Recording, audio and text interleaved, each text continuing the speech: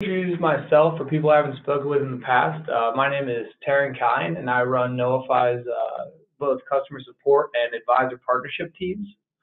Um, what I'm going to be covering today is the process of job costing materials, and it, it seems pretty simple, but uh, you know a lot of what we're going to be covering is you know partially uh, how it's going to be done in Knowify, but also just uh, the general process flows that we go through when you're job costing materials for your construction projects. Um, it can be a pretty detailed and complicated process uh, with a, a, lot of different levels to it. And so what I'm going to do is kind of just uh, give you guys a quick run through of the different uh, levels of uh, you know budgeting and purchasing, paying all of your vendors, and uh, just uh, first I'll kind of cover it on an outline level, and just to give you more info, I'll be diving into Knowify to show you how to be managing your Knowify accounts as well.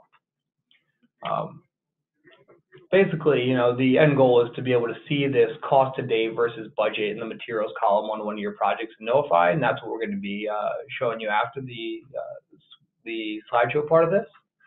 Um, and actually, let me uh, before I'm going to kind of shift gears really quick and uh, give you my uh, quick spiel on our webinars. I always forget to kind of give this intro, but uh, for the sake of the format, you know, I told you we're going slideshow, then a little bit more of a in-app demo. Uh, but what I'm going to do is keep everyone on mute through the uh, actual process of this webinar. Uh, and then afterwards, you know, you can submit questions in the chat. Feel free to submit questions in the chat while I'm going through, and I'll uh, touch base on those, you know, at the end of my portion of the presentation. Uh, and then, uh, you know, we can also do some open Q&A. You can use the raise hand function. We'll take you off mute. We can chat a little bit, and I'm happy to answer any questions. So know, we'll follow up with an open Q&A, and I'm recording all of this, so uh, afterwards, you know, we'll be putting it on YouTube so it can be viewed by anyone who couldn't make it here today. Uh, so a lot of what we like to talk about in Knowify is different processes. You know, we talk about how the Knowify job costing process is uh, budget, bid, track, and invoice. Uh, this isn't so different. Uh, only the material costing process that I'm going to be covering is budgeting, uh, ordering or purchasing the materials, uh, receiving the bill, logging the bill in your system from the vendor, and then finally paying that bill. Uh, basically, you know, the process of budgeting can start by either just writing in a lump sum budget or estimated cost that you know you're expecting to spend on all of the materials. Uh, and you know, it can be the lump sum, or you can break it down to an itemized list, which is always neat. Uh, plus, with our budgeting tools, the service templates, you can actually automate this process a little bit, and I'm going to be covering that a little bit while we go through. But once you have everything budgeted out, when you start tracking the actual versus this, uh, you know, budgeted cost that you laid out for materials, um, you're going to be actually ordering and purchasing the materials. You know, whether you're setting out a purchase order form or just going to the store and picking them up, that's going to be where we start seeing our cost to date increase versus what you had initially written in as the budget. Uh, but you know, in a lot of situations, especially in construction, you'll see that you know, not everything is going to be purchased with cash or with a debit card or, uh, you know, swiping a credit card. A lot of times you're going to receive a bill later on from the vendor, especially if you're placing an order or if you're requesting a quote and you're hiding your prices. Uh, this is a big part of, you know, the job costing process and seeing that uh, accrued cost when the bill comes in against each of these purchase orders. Uh, and the last part of that, you know, once we have the bill in the system, we'll be actually paying the vendor and kind of how we keep a record of these different pieces of the process. And so you can use the one list of materials used in the way beginning to turn around later on and uh, actually uh, uh, use that same list of materials to place the order and to uh, and to mark the items as received and use them all throughout this. And so sorry, someone had uh, used the video. I'm going to go ahead and stop that so it doesn't pop up. But um, so just to start us off here, I'm going to talk about the budgeting side of this a little bit and kind of the differences between lump sum and itemized budgeting. In lump sum budgeting, as you can see with our top phase, this is actually two different uh, two different states of a plan and track section in Knowify, where you can see the budgeting side, where you're putting in your expected cost, and you get to see your actual versus estimated at any point in Knowify.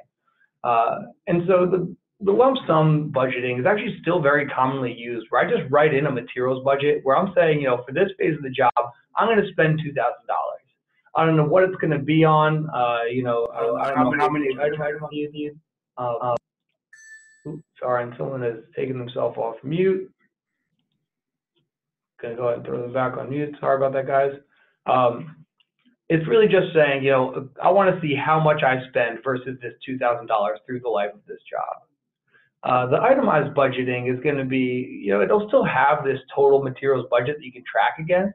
So you don't need to only order items out of the budget, but this is just going to give me a more detailed breakdown. You know, I have a list of materials. And so uh, in both of these, I still get an actual versus estimated. But in itemized, aside from just seeing my actual versus estimated cost, I'll actually see my actual versus estimated number of items ordered versus how many I had budgeted or you know number purchased versus budgeted. And I'm going to use the standard cost of these items that I'm generally paying to get this final materials budget so I can get a little bit more detail out of all of this at the end of the day. Uh, and I'll show you uh, when we go through purchasing how this is going to make the ordering process significantly easier. And that'll be a, uh, part of my uh, in-app demonstration. Um, after we have the budget, what we're going to get into next is purchasing.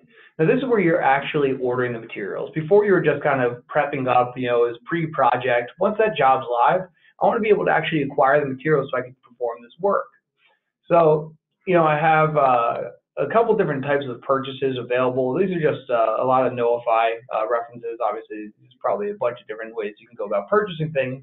But in Knowify, we classify purchases as vendor will invoice, which basically means I'm going to go ahead and buy the item. I'm going to receive a, you know, I'm going to send out an order or I'm going to go to a vendor and actually purchase something uh, at the store, but on a spending account.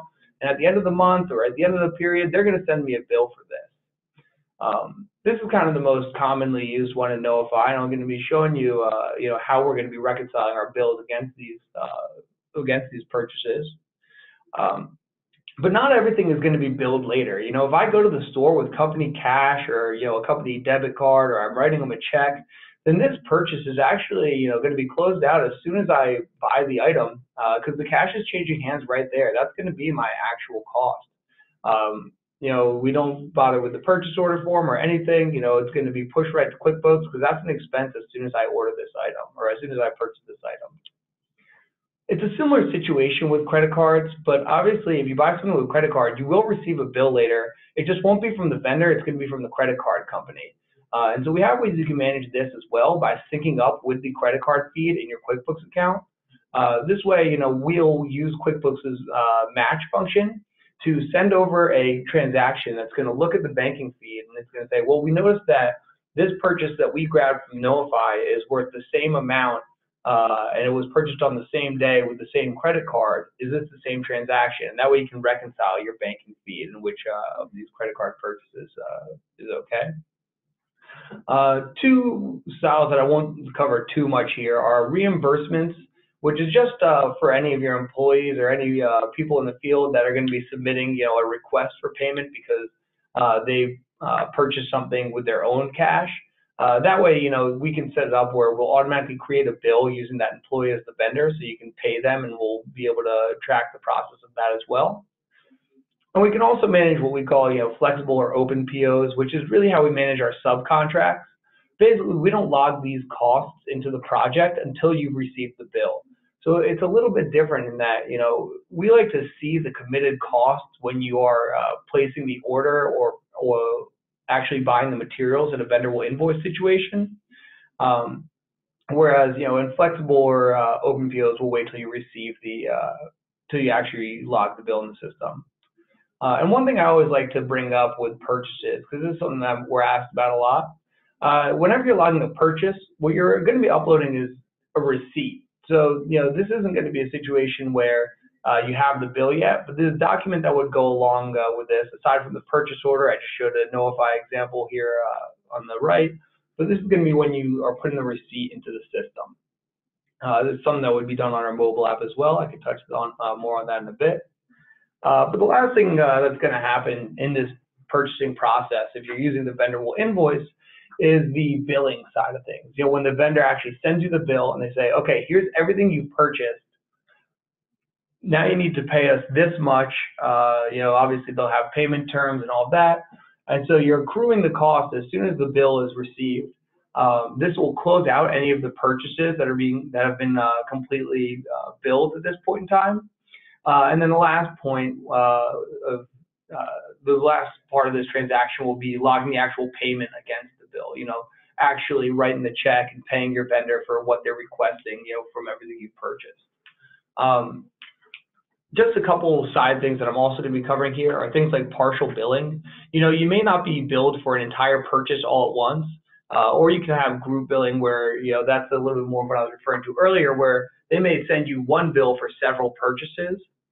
Uh, and then another level of this, since there is both the bill and the payment, uh, there may be partial payments. So, you know, you can still manage, you know, I may have been billed for a full $500, but I want to, you know, make note that I've only paid 250 at this point. We'll pay the outstanding 250 later on. Um, and so that's just an overview of everything I'm going to cover. Now I'm going to jump into my Knowify account and show you a little bit more about how this is all going to be managed. So I'm going to go ahead and just add a new job really quick.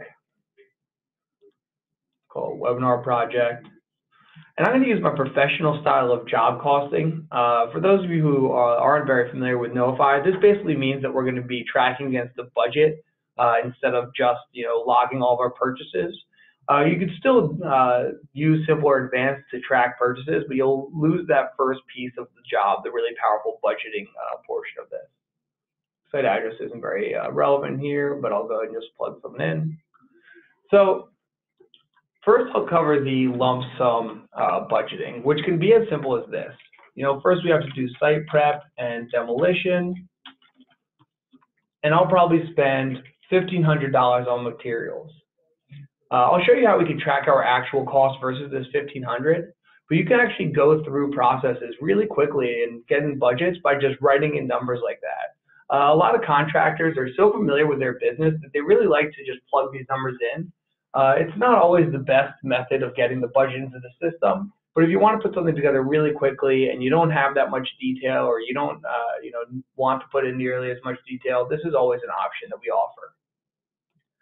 Um, now what we can also do is put something in where I'll say like, we need to do framing and my materials budget is going to consist of this list of materials. That's what this add materials button is going to do here.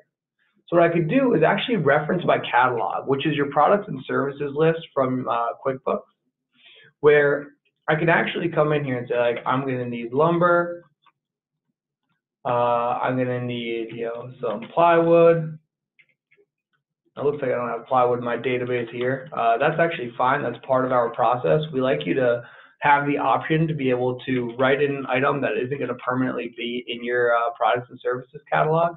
So I could say, you know, plywood, 100 sheets for $6, and still part of my budget without me having to add this into QuickBooks.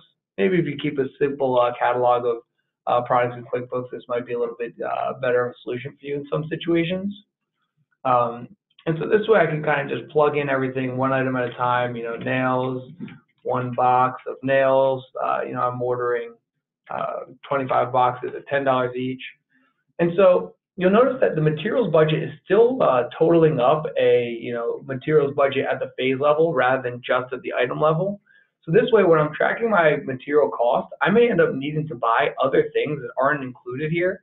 Uh, but I can always see my total uh, actual cost versus my budgeted cost uh, for my materials. So that's an important point to note. Uh, for what it's worth, just to show you guys a couple of neat Knowify tricks to automate this process, because writing in everything one item at a time isn't always uh, the easiest or the most fun.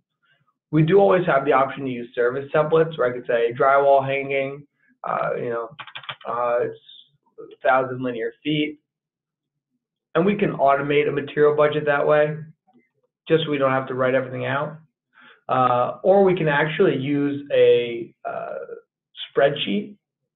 And this is actually really handy for any of your clients who uh, may be using uh, takeoff software where they get their list of materials before while they're budgeting the process from another software. As long as that software can export into a sheet that says, here's the list of items, quantity you'll need, and how much we expect to spend, you can just copy those three columns and paste them in here. And it'll automatically add that to your materials budget for this phase of the job. So it's just a nice way to speed up the process a little bit. So I'm going to go ahead and save my project here. Uh, you'll see it's not, you know, uh, terribly labor-heavy project, or I guess I threw in ten thousand dollars, but uh, I'm just gonna build a quick proposal. None of this is really relevant to the budgeting process, so I just uh, go very simple with this, fifty percent markup, make active. This is actually a nice little demonstration on how fast we can get proposals in the system in Knowify. But now that this uh, project is active, my plan and track section is going to show me my cost to date field versus my budget. But I won't just see it at the total overall materials level. It's going to be broken down to each phase of the job, and each phase is going to have its own internal materials budget. Now, we can start logging material costs by clicking this order materials button. Now, this, although it says order materials, doesn't need to be a situation where you're actually ordering the materials. You're really just logging a purchase. So if I click order materials, you'll see it pulls me into purchases. The difference between coming into purchases the way that I did here, rather than uh, coming in through clicking the purchases button, is simply that it just automatically fills in the job here for me. I always had the option to say purchases, add new purchase, select job, uh, 819, and it pulls up this webinar project for me. But basically, what we did here is say, I need to add some material cost to site prep, order materials, and it's going to ask for the vendor. And the vendor database, of course, is going to sync with QuickBooks in both directions. So we always have that, in, uh, you know, in both Knowify and QuickBooks. And I could just start writing in different items that I've used here. You know, I, I purchased some paint. Uh, this is called painting. I'm going to go with actually paint, five gallon bucket. And I'll say, you know, we paid $15 per gallon of paint and we bought, you know, uh, 10 buckets. And that's just my way of logging a purchase into the system manually. For what it's worth, this is another thing that you can actually copy in from a spreadsheet. So if you are going to be placing an order and you have that takeoff software, but you just put a lump sum budget into the system, this is a way to get more detail in when you're purchasing. And then it's going to ask me for the payment method down here. And this is going to be really where we start delineating between the different uh, styles of syncing with QuickBooks and Knowify. So when I say vendor will invoice, it's not actually going to push anything to QuickBooks.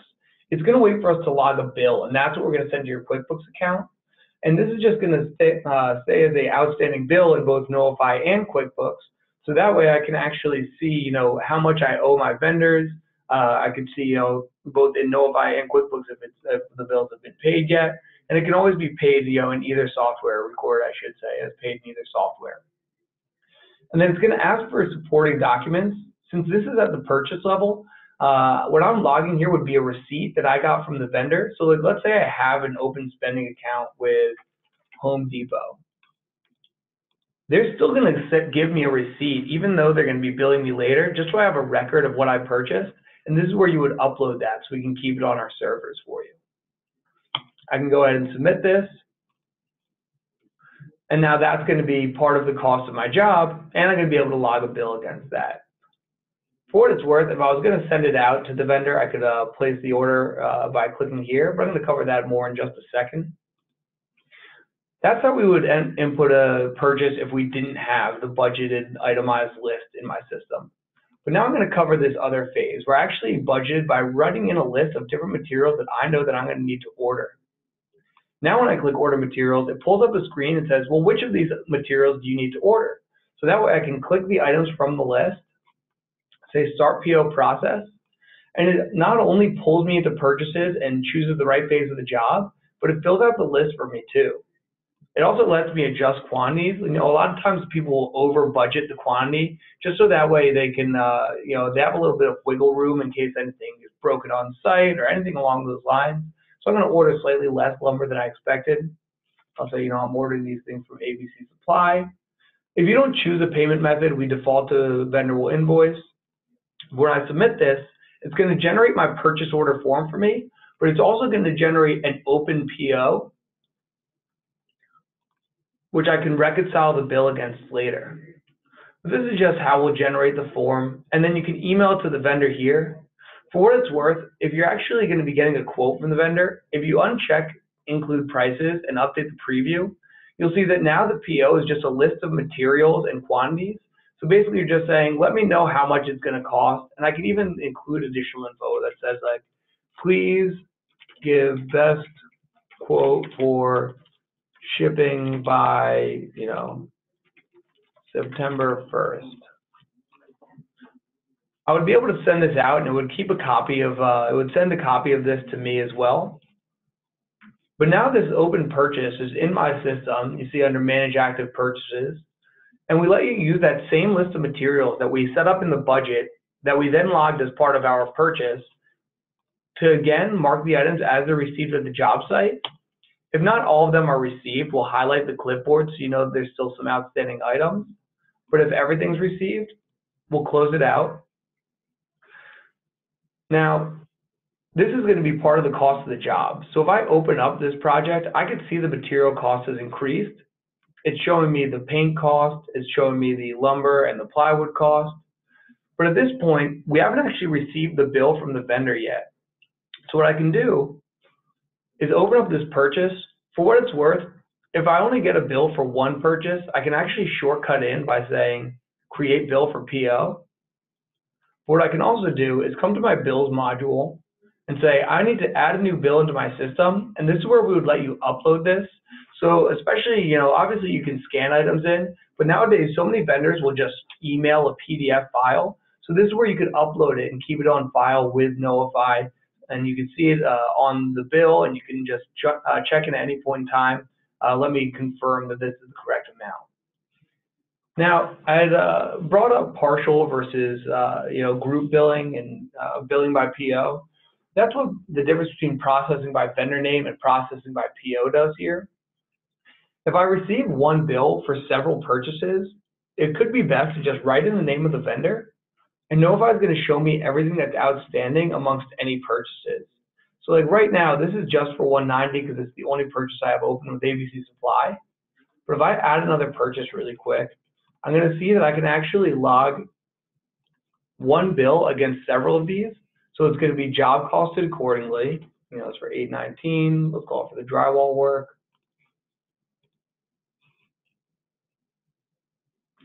And so now even though those purchases are separate uh, entities in Knowify, I could say ABC Supply, and it's going to say, well, here's everything that's outstanding. I could say, well, they just sent me a bill for the lumber for this something and a bucket. So that's going to be the total amount that we log as part of the bill. For what it's worth, we could fill in the rest of the info to push it over to QuickBooks, like my payment terms, due date, all that, invoice number. When I submit this, it's going to send it to the QuickBooks account, and we'll sync up the payments in both directions.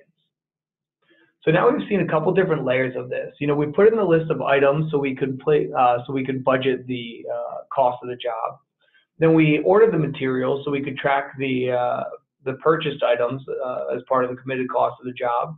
And now we just log the uh, bill against those purchases uh, it looks like both of them are still open because there's outstanding items. So if I come in here, I can see 191 and 190 are still open. But if I log a bill against the last item on 190, I could do that by saying process by PO, they send me a bill for 190, and it'll automatically just pull in the outstanding items on this purchase. Aside from sending the bill to QuickBooks, it'll actually close out that purchase. So now it goes right from 190 to 189, and I can actually view that by coming into my history and I'll see the different outstanding uh, purchases that way instead. Um, and so we closed out the purchase, we opened up our bills, and I can actually log the final part of this, which would be the payment against the bills by clicking this checkbox. This is how I would do it in Knowify. It's not going to actually pay any uh, any of the vendors. It's just a way for me to record the payment by saying, you know, record payment uh, you know, we're going to pay with a QuickBooks check, or I can uh, write in a memo or anything along those lines. That'll carry over to QuickBooks and close out there. Um, it looks like I had an error with this one. But the other option, let's actually go ahead and troubleshoot really quick. Ah, I closed out this purchase. Well, anyway, uh, the other option would be that I could open up my QuickBooks account and record the payment. A lot of the benefit of that being that you could log one payment or against multiple bills in QuickBooks. That's something that's actually not available in Knowify. But then when you sync up with Knowify, it'll close out all of these bills here as well, just so you can uh, uh, manage a little bit more of group entry and group payments. Uh, also, if you record a partial payment, let's say I paid Amazon uh, only $100 of this $200 bill, that'll still stick with QuickBooks as well, and we'll keep it on file so we know that this is still outstanding in the amount of $100. So that's just kind of how we manage everything from, you know, budgeting, then uh, to purchasing, to logging the bills, to recording the payment on the bills. And you can see that at any point in time, I can come into this project and see that the material cost of the job is updating in real time versus this information.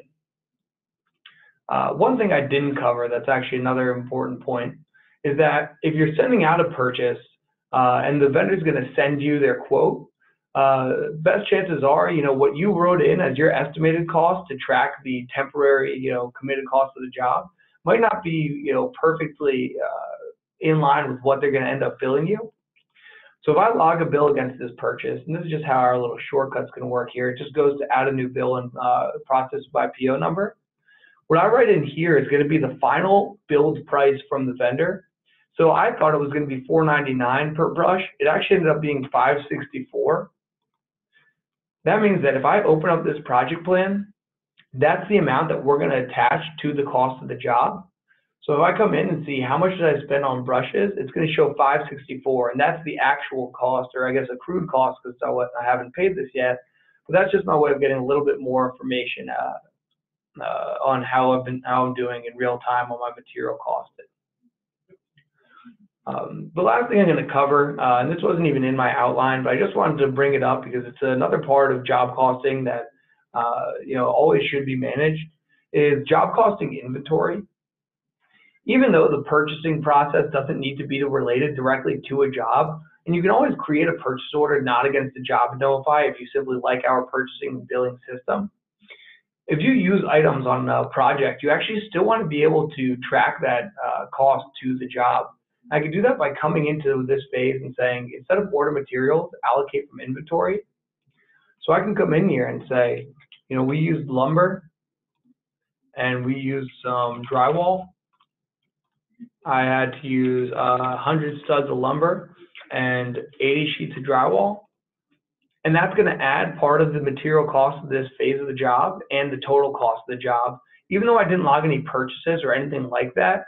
And so I have this updating, you know, in real time as I add the items. And that's actually available on our smartphone app now, where you can just get be a technician on the site and say, I used uh, 80 sheets of drywall, and it'll update the job cost for you. And this is a nice way to add something as part of the job cost that you know you don't have to sync with QuickBooks. So for, so it's handy for things like historical cost um, or anything that you know you've already purchased and logged the bill uh, in QuickBooks, so you don't need to push anything additional. This is just a way to make a manual adjustment to the cost of the job. Uh, for what it's worth, if you ever need to remove any of these, they're still managed in purchases, even though it's not a purchase. I would just go into history, or I can click where it said via catalog here and we can remove them. But that's the basics of how we'll go through any kind of job costing uh, for materials in our system. Um, that's just about everything that I wanted to cover with my webinar today. Uh, let's see if we got anything in the chat. Uh, nothing yet. Feel free to submit something uh, if you have any questions. Um, you can raise hand if you'd like me to take you off mute so you can ask, uh, you know, over the audio. Um, again, I did record this demo uh, and I will be posting it on uh, our YouTube channel as well as uh, in our Facebook group. If you guys aren't in the Facebook group, I uh, highly recommend you join. Uh, it's a great way to just learn a little bit more about Knowify as well as you know, be able to talk amongst your peers and different uh, members of the Construction Company Advisors Network about uh, questions you have about Knowify, about clients who are in construction. Um, so uh, I just got a question, do you offer a certification program for accountants? Um, we absolutely do. Uh, I know a lot of people who are in CCAN actually, um, I know that uh, a lot of people who are in CCAN aren't necessarily part of our Knowify Advisor program. Um, what we're working on with CCAN is certifying just general construction accounting. That's what this webinar uh, is all about, is just covering, you know, how uh, different parts of uh, construction costing and consulting and advising works. Uh, we also have a referral program if you're interested in uh, wholesale billing or uh, getting, you know, free access to clients' accounts. And it's more of a partnership program that, you know, involves a, a little bit of a team effort between, you know, Knowify and you guys supporting your clients. Um, we have a question uh, about, uh, and actually just real quick, you know, I, I'll be sending out a follow-up email to everyone in the network and anyone who's on this webinar. So that'll be a great way to join both programs and feel free to reach out to me if you have more questions. I do run our advisor program. Um, Rick asked about, you know, materials in QuickBooks inventory used in a project. When you add an inventory item in QuickBooks, it automatically sets up as a product, which will pull it into Knowify as a catalog item we don't make adjustments to your QuickBooks catalog uh, uh, quantity on hand. But when I did this allocate from inventory, it started using our uh, catalog to search. So when I said lumber, that very easily could have been a item from my QuickBooks library. Uh, and so that's just a way to have, you know, the cost in Knowify. You will need to make the manual adjustment in QuickBooks as far as the quantity on hand goes. But what we run is this purchases report where I can say, you know, show me all of my purchases and catalog uh, allocations from the 1st to the 28th. And it'll give me the numbers. So if I want to make the adjustments to my quantity on hand in QuickBooks, you know, once a month, once a week, we can give you a quantity used just so you have that information still. It'll show me everything that I've logged as a purchase and then everything that was allocated from my catalog.